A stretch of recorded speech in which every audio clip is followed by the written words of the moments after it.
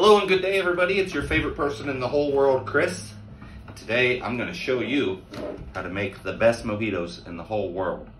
So I got this from Steve the bartender. He does great YouTube videos. Don Q Cristal. This is Puerto Rican rum and it doesn't cost much. It's like 14 bucks for a fifth. Great buy.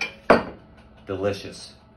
Vernors ginger ale. I like it over Canada Dry and other or ginger, ginger ales because it's a little sweeter. And I have a sweet tooth. It's insatiable. All right, so what we're gonna do is start off with some mint. I like to uh, get three or four of them. Four of them. I like to tear them up. Okay? And then I like to give them a little clap. We want those oils to break down. Throw them in your glass of ice. All right. Now, right here we have six parts of the Don Q. Let's give it a nice little pour. Oh yeah, baby. We have here three parts fresh squeezed lime juice. Oh yeah. Three parts simple syrup.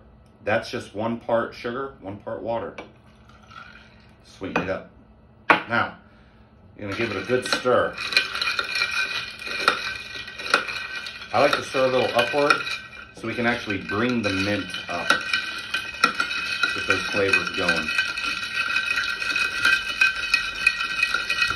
You can also use it in your shaker too, if you have a cocktail shaker.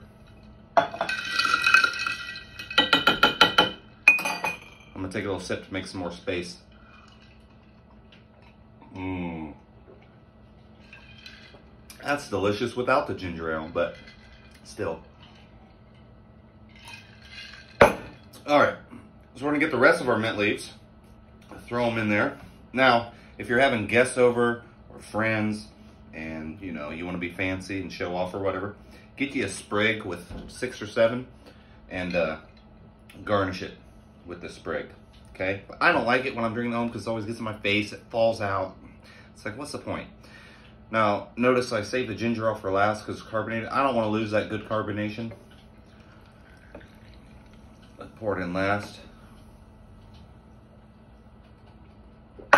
Delicious. And then I'm just gonna lightly stir. Not vigorous, just light. Get that drink going. And that, my friends, is Chris's Mojito.